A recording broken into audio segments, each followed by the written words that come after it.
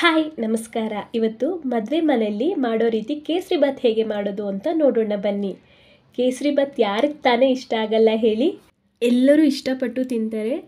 ಹಬ್ಬಗಳಿಗೆ ಹಾಗೆ ಮನೆಯಲ್ಲಿ ಯಾರಾದರೂ ಸಡನ್ನಾಗಿ ನೆಂಟರು ಬಂದುಬಿಟ್ರೆ ಮನೆಯಲ್ಲಿರೋ ಐಟಮ್ನೇ ಬಳಸಿ ತುಂಬ ಸುಲಭವಾಗಿ ಹತ್ತೇ ನಿಮಿಷದಲ್ಲಿ ಕೇಸರಿ ಬಾತ್ ಹೇಗೆ ಮಾಡೋದು ಅಂತ ನೋಡೋಣ. ಮಾಡೋಕ್ಕೂ ಮುಂಚೆ ನನ್ನ ಚಾನಲ್ನ ಇನ್ನೂ ಸಬ್ಸ್ಕ್ರೈಬ್ ಮಾಡದೆ ನೋಡ್ತಾ ಇದ್ರೆ ಪ್ಲೀಸ್ ಸಬ್ಸ್ಕ್ರೈಬ್ ಮಾಡ್ಕೊಳ್ಳಿ. ಹಾಗೆ ಪಕ್ಕದಲ್ಲಿರುವ ಬೆಲ್ ಬಟನನ್ನು ಪ್ರೆಸ್ ಮಾಡಿ. ಇಲ್ಲಿ ಒಂದು ಪ್ಯಾನಲ್ಲಿ ನಾಲ್ಕು ಸ್ಪೂನ್ ತುಪ್ಪ ಹಾಕ್ಕೊಳ್ತಾ ಇದ್ದೀನಿ. ನಾಲ್ಕು ಸ್ಪೂನ್ ಎಣ್ಣೆ ಹಾಕ್ಕೊಳ್ತಾ ಇದ್ದೀನಿ. ಎಣ್ಣೆ ಯಾವುದಾದ್ರೂ ಫ್ಲೇವರ್ಲೆಸ್ ಆಯಿಲ್ ತೊಗೊಳ್ಳಿ. ಸ್ಮೆಲ್ ಇಲ್ಲದೆ ಇರೋದು.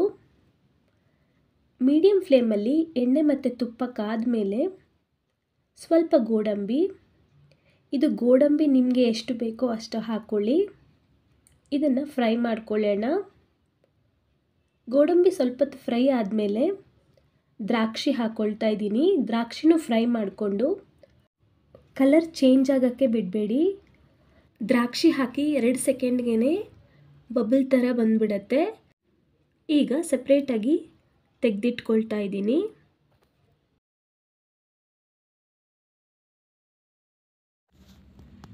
ಅದೇ ಪ್ಯಾನಲ್ಲಿ ಒಂದು ಕಪ್ ರವೆ ಹಾಕ್ಕೊಳ್ತಾ ಇದ್ದೀನಿ. ಈಗ ಇದನ್ನು ಫ್ರೈ ಮಾಡ್ಕೊಳ್ಳೋಣ. ಲೋ ಫ್ಲೇಮಲ್ಲಿಟ್ಟು ಫ್ರೈ ಮಾಡ್ಕೊಳ್ಳಿ. ರವೆ ಕಲರ್ ಚೇಂಜ್ ಆಗಬಾರ್ದು. ಇದು ಟೂ ಹಂಡ್ರೆಡ್ ಗ್ರಾಮ್ಸ್ ರವೆ ಇರುತ್ತೆ. ನಿಧಾನವಾಗಿ ಒಂದು ಐದು ನಿಮಿಷ ಫ್ರೈ ಮಾಡ್ಕೊಳ್ತಾ ಇದ್ದೀನಿ. ರವೆ ಚೆನ್ನಾಗಿ ಫ್ರೈ ಆದಮೇಲೆ ಎರಡೂವರೆ ಕಪ್ ಬಿಸಿನೀರು ಹಾಕ್ತಾ ಇದ್ದೀನಿ.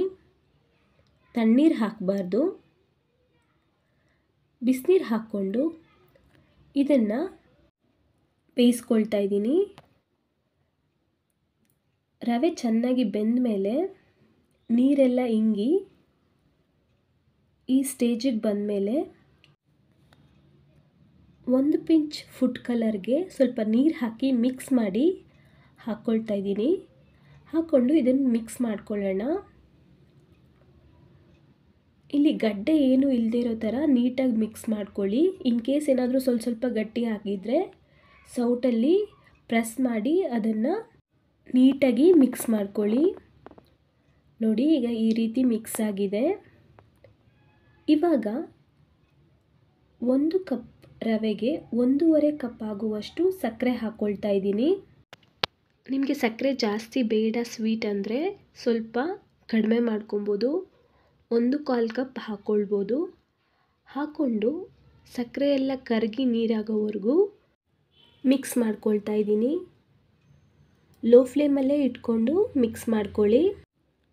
ಸಕ್ಕರೆ ಎಲ್ಲ ನೀರಾಗೋವರೆಗೂ ನೀಟಾಗಿ ಮಿಕ್ಸ್ ಮಾಡ್ಕೊಳ್ಳಿ. ನೋಡಿ, ಈ ರೀತಿ ಎಲ್ಲ ಕರಗಾದ ಮೇಲೆ ಇದಕ್ಕೆ ಎರಡು ಸ್ಪೂನ್ ತುಪ್ಪ, ಎರಡು ಸ್ಪೂನ್ ಎಣ್ಣೆ ಹಾಕ್ಕೊಳ್ತಾ ಇದ್ದೀನಿ.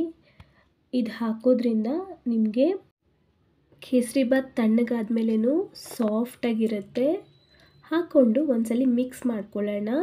ಮಿಕ್ಸ್ ಮಾಡಿಕೊಂಡು ಸ್ವಲ್ಪ ಏಲಕ್ಕಿ ಪುಡಿ, ಹಾಗೆ ನಾವು ಫ್ರೈ ಮಾಡಿ ಇಟ್ಕೊಂಡಿರೋ ಗೋಡಂಬಿ ದ್ರಾಕ್ಷಿನ ಇದರಲ್ಲಿ ಹಾಕ್ಕೊಂಡು ಮಿಕ್ಸ್ ಮಾಡ್ಕೊಳ್ತಾ ಇದ್ದೀನಿ. ನೋಡಿದ್ರಲ್ಲ, ಎಷ್ಟು ಸಾಫ್ಟಾಗಿ ಬಂದಿದೆ. ತುಂಬಾ ಟೇಸ್ಟಿ ಆಗುತ್ತೆ. ನೀವು ಒಂದ್ಸಲಿ ಟ್ರೈ ಮಾಡಿ. ಹೇಗಿತ್ತು ಅಂತ ಕಮೆಂಟ್ ಮಾಡಿ. ಬಾಯಲ್ಲಿಟ್ಟರೆ ಹಾಗೆ ಕರ್ಗೋಗುತ್ತೆ. ಈ ವಿಡಿಯೋ ನೋಡಿದ ಎಲ್ಲರಿಗೂ ಧನ್ಯವಾದಗಳು.